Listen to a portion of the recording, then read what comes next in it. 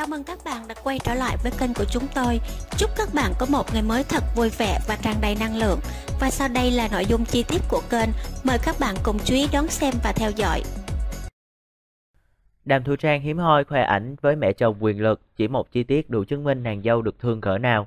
Của người mẫu Đàm Thu Trang đã khoe ảnh cùng mẹ chồng quyền lực, chụp ngay tại công ty của gia đình trên trang cá nhân. Sau hơn 2 năm chính thức về chung một nhà, Đàm Thu Trang và Cường Đô La tận hưởng cuộc sống hôn nhân viên mãn.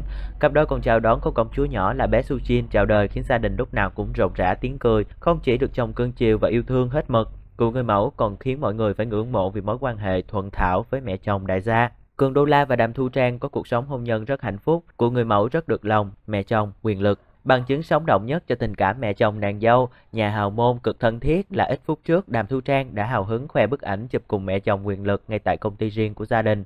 Hai người phụ nữ quan trọng nhất của Cường Đô La lên đồ thanh lịch sang trọng và thần thái nữ chủ tịch sang chảnh. Cả hai khoát tay thân thiết và nụ cười tươi rói nở trên môi. Vợ của doanh nhân phố núi chỉ tóm gọn hai chữ để miêu tả mẹ chồng lừng lẫy của mình, mẹ đẹp. Chỉ với chi tiết nhỏ này thôi cũng đủ hiểu Đàm Thu Trang rất được lòng mẹ chồng quyền lực của mình. Vì bà Nguyễn Thị Như Loan là nữ doanh nhân lừng tiếng trên thương trường cũng như sự kính tiếng. Hầu như bà hiếm khi xuất hiện trước truyền thông hay chụp ảnh cùng con cháu để tránh lời ra tiếng vào, lắm thị phi.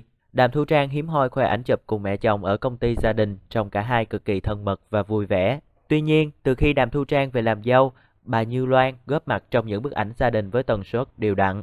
Chẳng hạn như trong tiệc sinh nhật tròn một tuổi của bé Su Jin, nữ đại gia Như Loan chụp ảnh rất thân thiết với các thành viên trong nhà, hay trong ngày đầu năm mới 2021, gia đình Cường Đô La và Đàm Thu Trang tiếp tục khoe hình ảnh chụp hạnh phúc vui vẻ. Cả nhà cùng diện trang phục tông màu đỏ nổi bật, gương mặt rạng rỡ đầu xuân, trong đó có sự xuất hiện của bố mẹ chồng và con cháu trong gia đình. Và vào năm 2019, khoảnh khắc mẹ ruột doanh nhân Cường Đô La rơi nước mắt trong lễ ăn hỏi của con trai sau khi trao quà cho con dâu cũng khiến nhiều người xúc động. Từ khi Đàm Thu Trang về làm dâu, bà Như Loan tích cực xuất hiện trong khung ảnh của gia đình hơn. Trong lần lễ ăn hỏi của Cường Đô La và Đàm Thu Trang hồi năm 2019, bà Như Loan vốn là doanh nhân đành thép trên thương trường nhưng lại không kìm được ngước mắt khi trao quà cho con dâu. Khoảnh khắc này khiến nhiều người xúc động cũng như phần nào hiểu thêm về tình cảm của cặp mẹ chồng nàng dâu này. Bên dưới bài đăng, cư dân mạng để lại bình luận nhiều lời khen cho vẻ đẹp doanh nhân của họ. Cùng với đó, dân tình cũng ngưỡng mộ về mối quan hệ mẹ chồng và con dâu tốt đẹp của nữ doanh nhân Như Loan và Đàm Thu Trang. Một số bình luận của cư dân mạng, gia đình ai cũng đẹp luôn đó. Mẹ chồng con dâu nhìn giống nhau quá. Mẹ anh Cường đúng là người phụ nữ tài sắc vẹn toàn, ngưỡng mộ thật.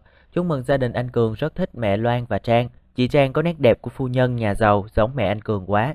Có thể nói Đàm Thu Trang là một trong những người đẹp số hưởng nhất của Vbiz. Không chỉ có chồng thương yêu mà cô cũng giữ được mối quan hệ tốt với mẹ chồng khi về nhà hào môn.